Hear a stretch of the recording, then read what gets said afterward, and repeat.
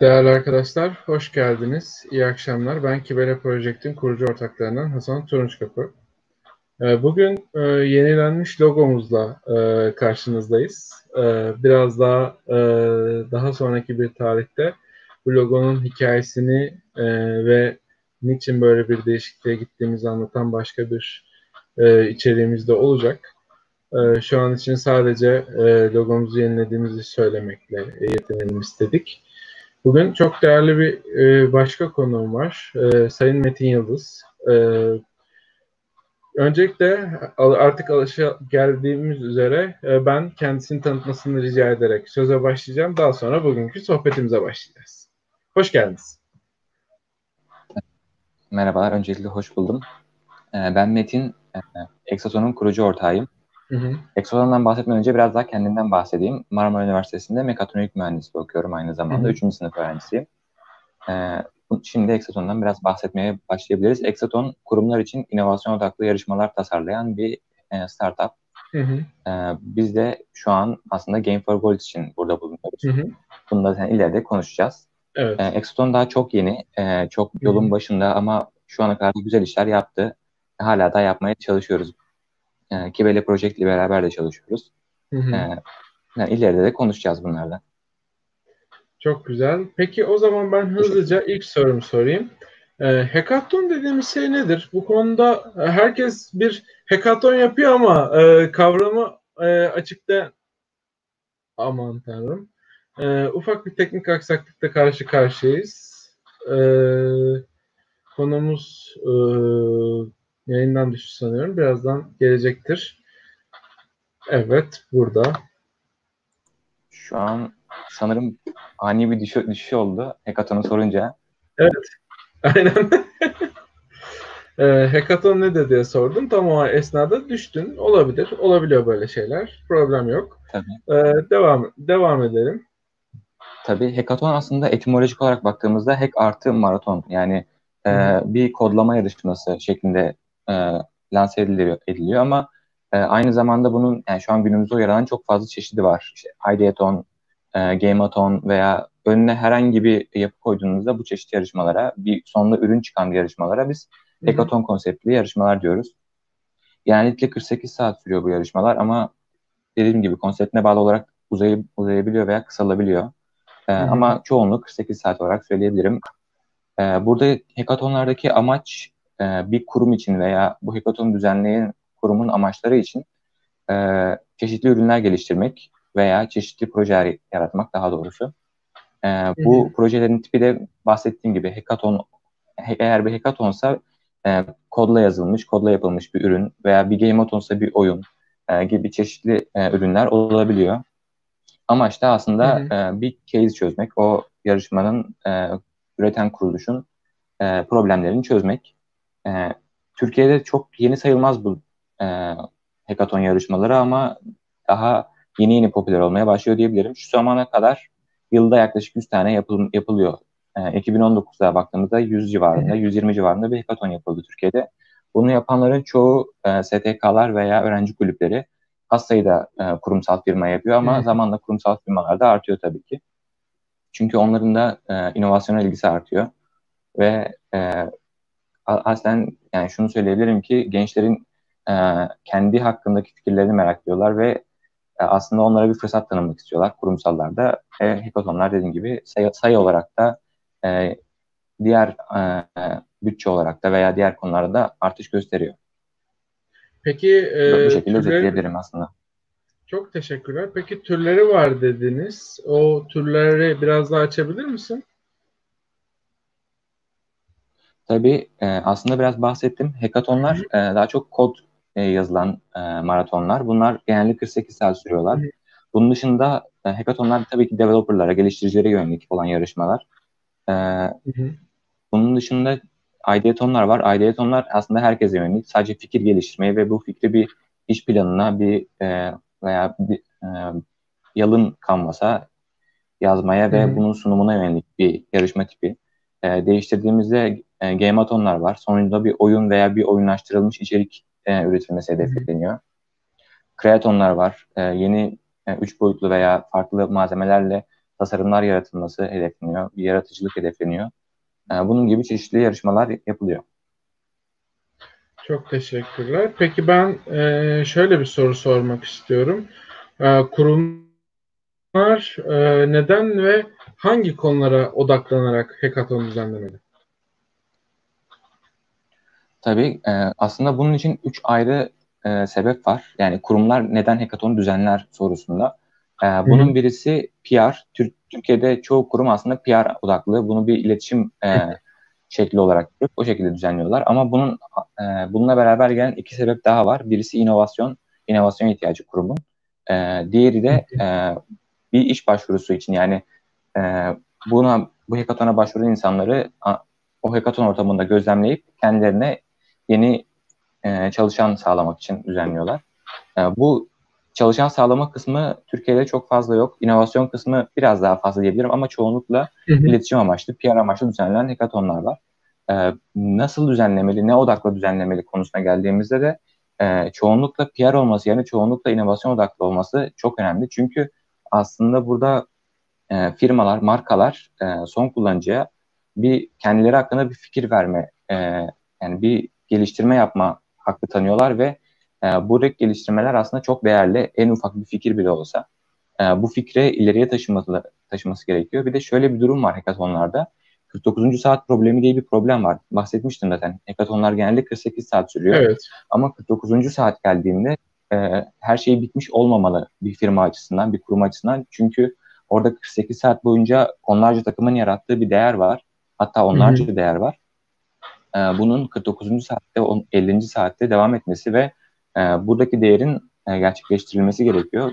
Birçok firma bunu yapmakta, birçok kurum bunu yapmakta zorlanıyor. Burada aslında şey hikayesi çok güzel. E, muhtemelen biliyorsunuzdur. E, usta bir ressam öğrencisine öğrencisinin resmini e, bir meydana bıraktırmasını istiyor Hı-hı. ve diyor ki işte yanına bir de not bırak, hatalarını insanlar işaretlesin. E, Hı-hı. işte ressam öğrenci olan ressam bırakıyor ve birkaç gün sonra tekrar baktığında üst, üst tarafı, her tarafı işaretlenmiş olduğunu görüyor.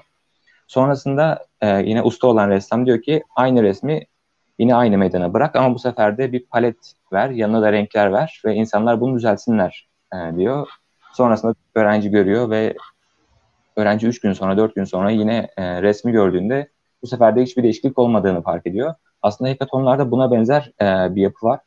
E, burada marka kendi ürününü veya kendi ürünün bir alt kademesini yani ürünün bir parçasını veya markanın tamamını aslında burada geliştiricilerin veya fikri olan insanların önüne bırakıyor ve diyor ki sen bunda bir problem bul ve e, bunu çöz.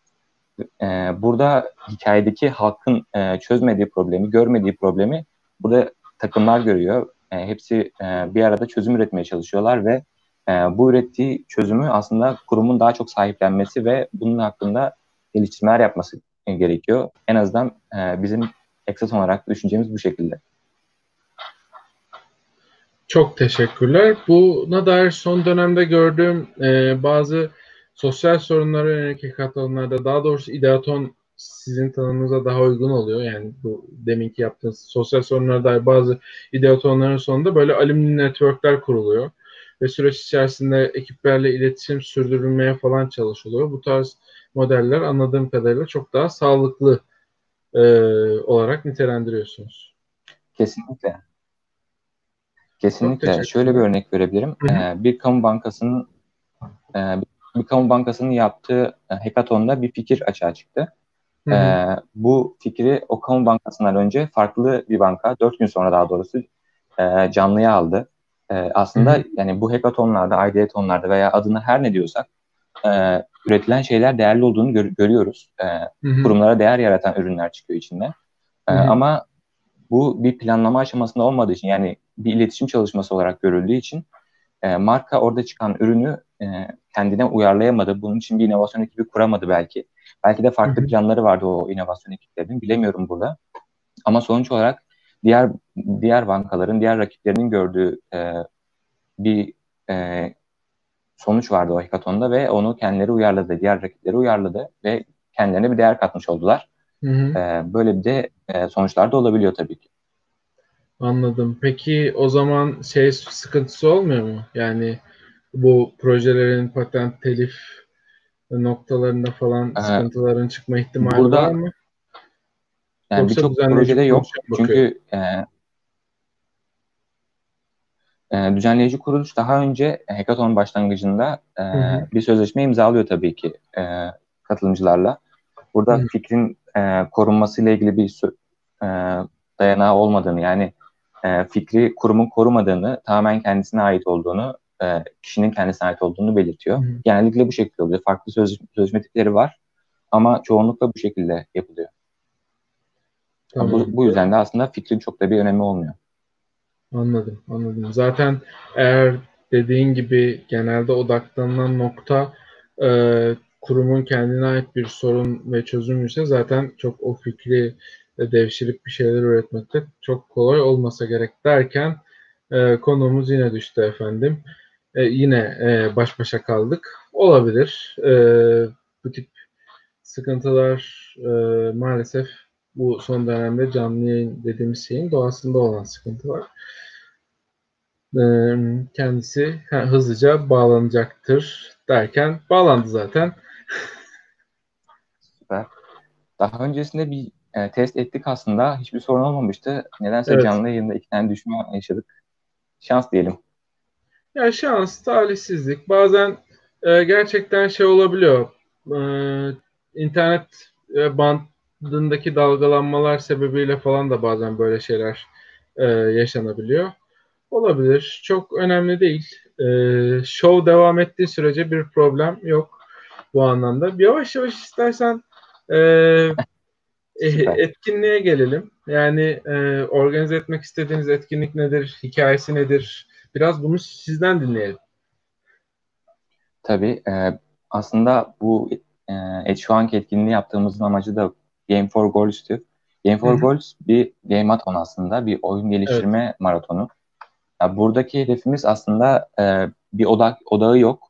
E, şöyle e, normalde game atonlarda belli odaklarda oyunlar geliştirilir. E, bunlar dijital oyunlar olabilir. Genellikle zaten dijital oyunlar Hı-hı. olur. Ama işte kutu oyunları, kart oyunları gibi geliştirilen e, yarışmalar da var. E, biz Hı-hı. bunların hepsini e, bir araya dahil etmek istedik ve Game Auton oluşturduk aslında. Game Auton'un e, yani daha doğrusu Game for Goals'un bir diğer güzel kısmı da goal kısmı. Çünkü burada bir hedef var, e, hedefler var.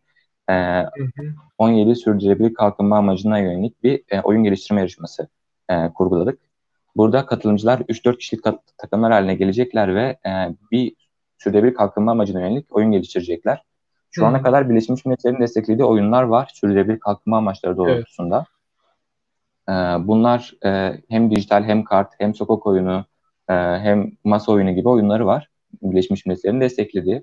E, daha çok şey üzerine e, sürdürülebilir kalkınmanın eğitilmesi, öğretilmesi, insanlara duyurulması üzerine oyunlar. Hı hı. Biz bunları da dahil ediyoruz. Bir de ek olarak Birleşmiş Milletler sürdürülebilir kalkınma amaçlarının e, odaklandığı konular var. Örneğin eğitim konusunda veya eşitsizliklerin azaltılması konusunda e, otizmli gençlerin veya otizmli çocukların eğitimi üzerine maddeler var veya e, hmm. özel e, çocuklar, özel insanlar diyebilirim.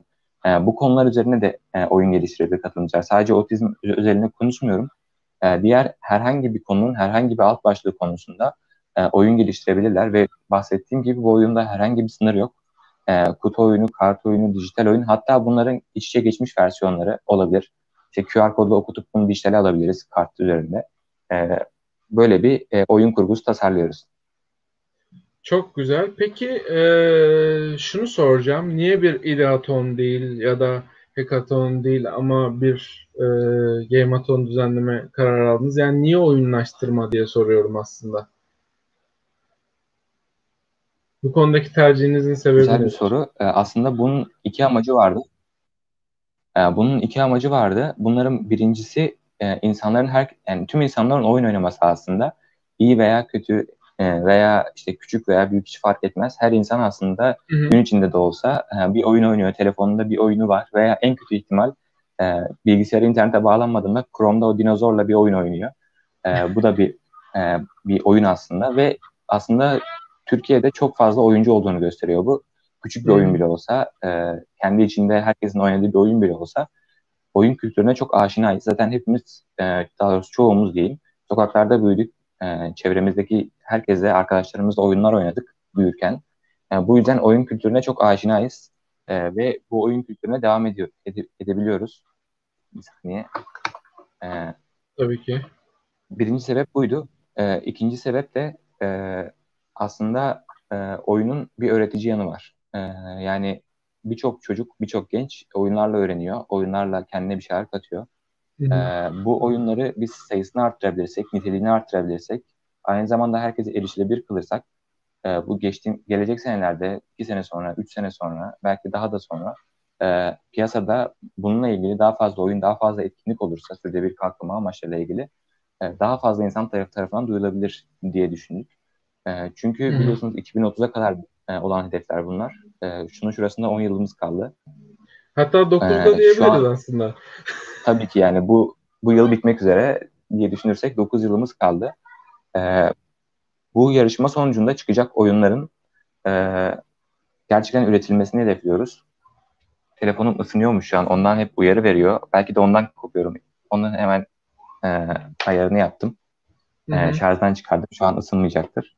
E, bu oyunların üretilmesi çok kolay. Yani kutu oyunu, kart oyunu gibi oyunların üretilmesi herhangi bir hackathon sonucunda yani kod yazılmış bir şeyin sonucunda e, üründen daha kolay. Çünkü biz hackathonlarda her zaman e, MVP tarzı ürünler istiyoruz. Yani e, son kullanıcının tamamen kullanmasına yönelik değil ama problemin net olarak anlaşıldığı ve bu problemi kısmi olsa da bir sonucun bulunduğu ürünler hedefleniyor.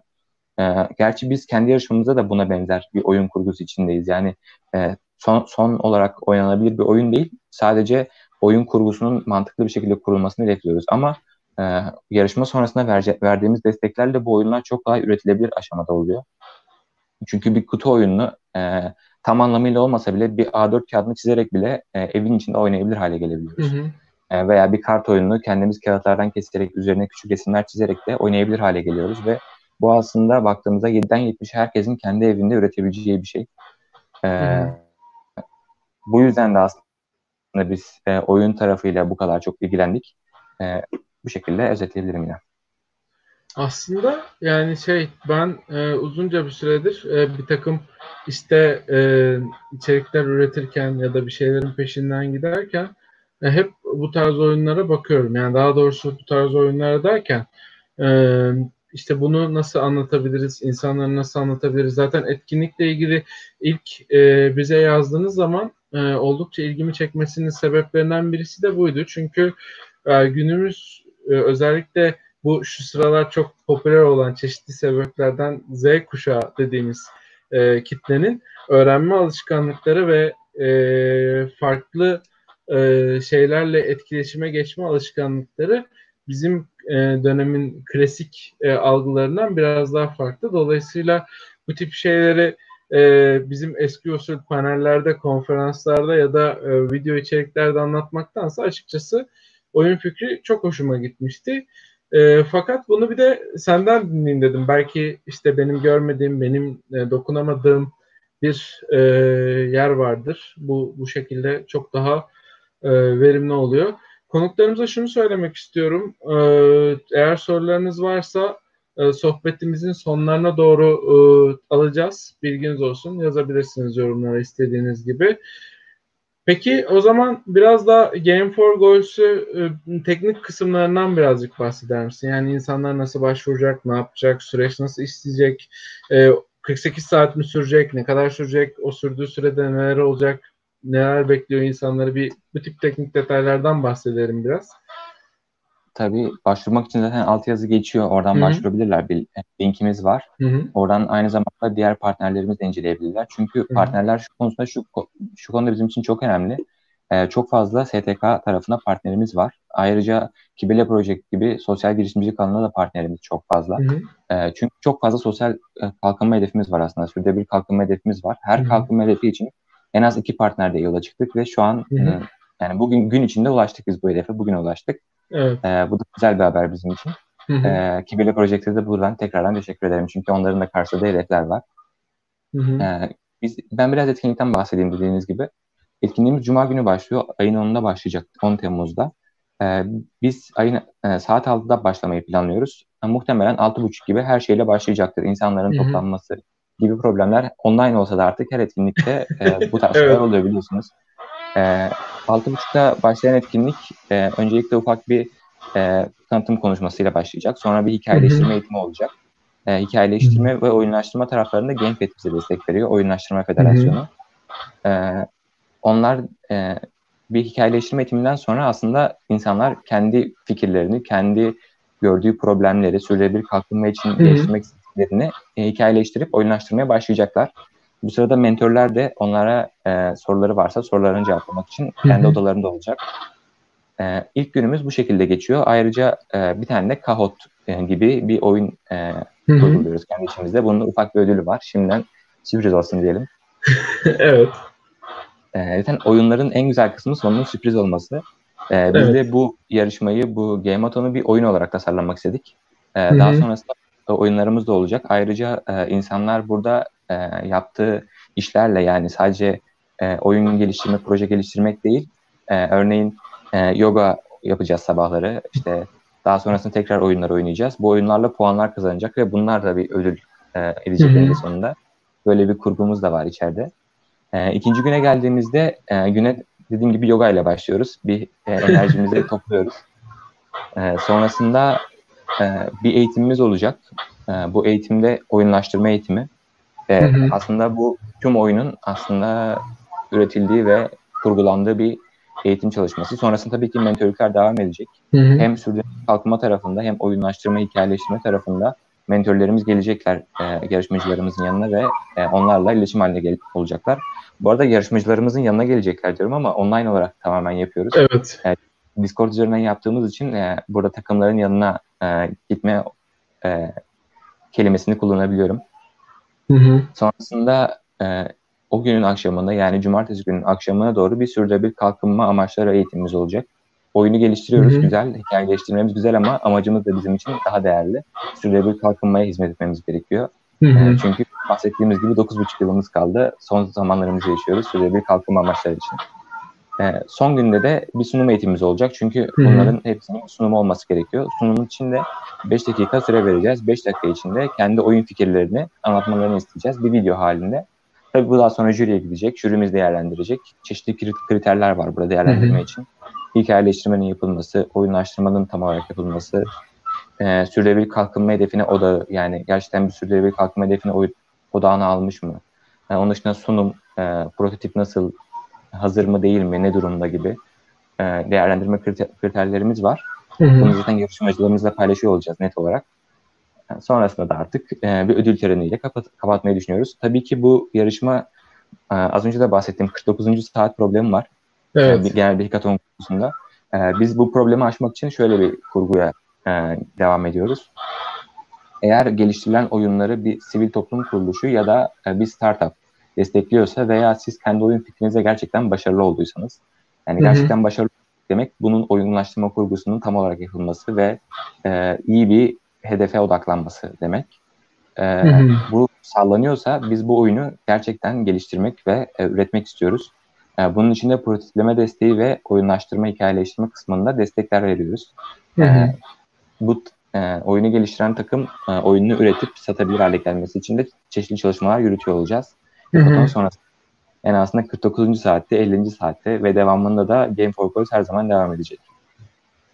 Açıkçası bu çok güzel bir haber. Ee, yani e, bu dediğin program gerçekten yani büyük bir sorun çünkü özellikle e, bu tip etkinliklerde kafa patlatan, zaman harcayan e, gençler bunun geri dönüşünü alamadıkları takdirde e, çok ciddi e, sıkıntılarla ve meselelerle karşılaşabiliyorlar. Umutları kırılıyor, hayalleri kırılıyor. Siz aslında yani şunu söylemek istiyorum. Hani e, bu iş bize geldi e, ve e, aslında bu işin kendisi bile e, sürdürülebilir kalkınma amaçlarından e, birlikte iş yapmak, hedefler için ortaklıklar hedefinin alt başlığında nitelenecek hali şimdiden geldi bile aslında Kesinlikle. bakacak olursak. Çünkü gerçekten çok ciddi bir kadro var arka tarafta. Çok ciddi bir emek var. Ee, arkadaşlar hani e, belki Xatron'u yeni kurmuşlar ama e, bu konudaki tecrübeleri de oldukça fazla.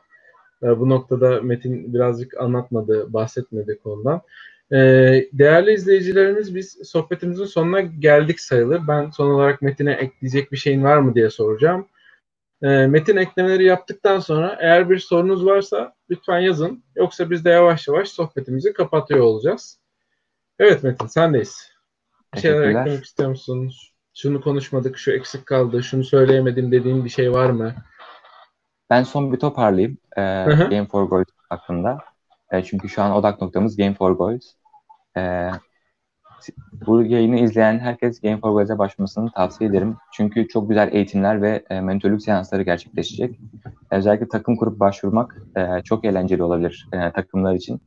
E, çünkü bahsettiğim gibi oyun e, bir oyun geliştirirken aynı zamanda bir oyun içinde bulacaklar kendilerini. Hı hı. E, bizim e, umarım online olmasının e, bir aksaklığını yaşamayacağız diye düşünüyoruz. Gerçi aksaklığını yaşamayacağız diyorum ama bu canlı yayında bile iki kere düştüm. E, umarım orada çeşitli çeşitli sorunlar yaşamayız. Ama online olması e, bir açıdan güzel çünkü güzel başvurular geliyor. Çok fazla yerden başvuru var. Şu an Türkiye'nin hemen hemen çoğu şehrine başvuru var diyebilirim. 60 şehir rahatlıkla Hı-hı. çıkıyor gibi. E, bunun tabii çoğu üniversite öğrencileri, mezunlar da başvuruyor ayrıca. E, bu da güzel bir sonuç diyebilirim. E, bunun dışında eğer takımsız başvurmak istiyorlarsa bu da sorun değil. Bireysel olarak başvurabilirler. Biz daha öncesinde onları Discord sunucusuna biraz daha önceden alıp hı hı. E, onların takım kurması için teşvik etmeye çalışacağız ve takımları bireysel başvurular içinde veya daha önce kurulmuş ama eksik kalmış takımlar içine e, dahil etmeye çalışacağız onları. Öyle bir seçeneğimiz de var. Bunun dışında e, Game for Gold daha sonra devam edecek bahsettiğim gibi bu 49. saat probleminden de öte e, bu hackathon'da verimli sonuçlar aldığımızda yani bir oyun ürettiğimizde e, bunun devamı da gelecek ve tamamen hedefler odaklı yani bu, bu, bu sefer 17 hedef birden değil fakat belki bir belki bir iki hedef birden odaklı e, daha Hı-hı. net e, sonuçları olan daha yap, e, güzel e, sonuçları olan birkaç hackathon kurgumuz daha olacak. E, bunlara da başvurmalarını ve bizi takip etmelerini istiyoruz açıkçası. Instagram üzerinden tüm duyuruları takip edebilirler. Ayrıca web sitemiz üzerinden de bize ulaşabilirler. E, sorusu olan varsa da e, g4g.exaton.co üzerine mail, mail adresiyle bize ulaşabilirler. Bu kadar benim bahsetmek istediklerim bu kadar. Bu arada bizi yayına davet ettiğiniz için teşekkür ederiz. E, çok verimli bir yayın oldu. Ya şöyle, e, biz açıkçası birlikte iş yapma kültürüne e, önem veriyoruz. Bu noktada e, özellikle korona süreciyle birlikte bunun öneminin daha çok anlaşıldığına inanıyoruz e, genel olarak. Umuyoruz ki öyle olmuştur. Biz orada olacağız. E, Game for Goals günü. E, orada bulunacağız. E, açlığa son nitelikli eğitim gibi başlıklarda başlıkların serverlarında bizi bulabilirsiniz. E, bunun haricinde e, işte e, bizim birlikte olduğumuz e, dönüşüm kolektifinin değerli paydaşları Çevreci Geek olsun, e, Sürdürülebilirlik Adına Derneği olsun orada olacaklar. O ayrıca çok kıymetli başka ekipler bizim e, gerek e, bizim oldukça birlikte çalıştığımız gerekse sürdürülebilirlik ekosisteminin çok önemli ve çok değerli paydaşları da orada bulunacaklar. Görüyorum ki bir soru yok. Ee, o zaman e, yavaş yavaş yayını sonlandıralım. Görüşmek üzere. Çok teşekkür ederim. İzleyenlere teşekkür ederiz. Görüşmek üzere.